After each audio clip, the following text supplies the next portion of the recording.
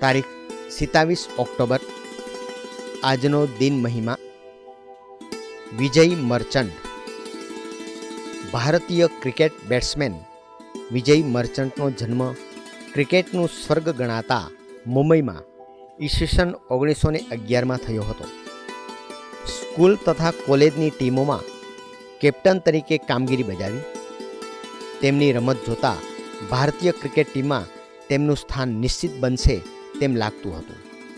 પરંતુ ગાંધીજીની અસહકારની ચળવળને કારણે તેમની પસંદગી ઇંગ્લેન્ડ જવા માટે થઈ હોવા છતાં તે ન ગયા.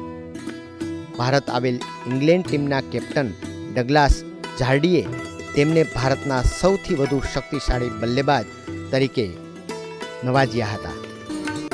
Then in 1936 at Old Trafford, Vijay Merchant hit 100 and shared in a match saving partnership of 203 with Mushtaq Ali, who too got 100. કપ્તાન તરીકે વિજય મર્ચન્ટ એટલા આક્રમક કે અસરકારક નહોતા સલામતી તેનો મંત્ર હતો. હુક મારીને આઉટ થવા કરતાં દડાને ટાળવાનું તે પસંદ કરતા. ક્રિકેટને તિલાંજલિ આપ્યા બાદ કોમેન્ટેટર તરીકે સર્વોત્તમ સાબિત થયા. મેદાન પર ચાલી રહેલી મેચનું વર્ણન તે ખૂબ જ સુંદર રીતે કરતા. વિક્રમોને, આંકડાઓને રજૂ કરવાની તેમની કુશળતા કાબિલે દાદ હતી. જીવનના ઉત્તરાર્ધમાં તેમણે સામાજિક સેવાના ક્ષેત્રે ઝંપલાવ્યું. મંદબુદ્ધિના બાળકો પ્રત્યે તેમને ખૂબ જ લગાવ હતો.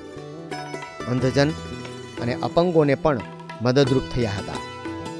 તારીખ સિત્તાવીસ ઓક્ટોબર ઓગણીસો સિત્યાસીના રોજ મુંબઈ ખાતે તેઓ અવસાન પામ્યા. મર્ચન્ટે કહ્યું હતું કે, કોઈ માર્ગને મારું નામ અપાય તેમ હું ઈચ્છતો નથી. જે લોકોના જીવનમાં થોડીકે શાંતિ હું સ્થાપી શક્યો હોઉં, તેઓના દિલમાં લગરીક સ્થાન મળે તેવી મારી અંતિમ મનીષા છે.